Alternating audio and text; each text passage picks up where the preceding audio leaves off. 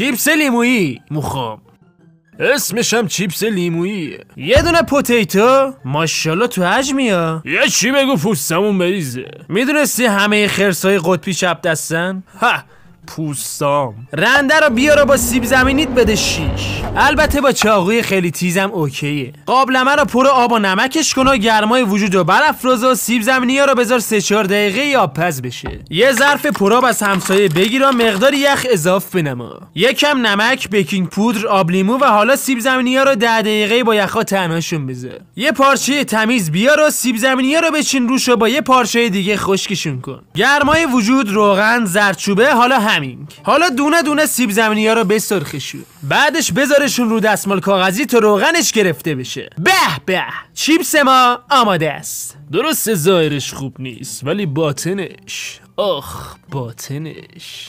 چقدر جذابه. این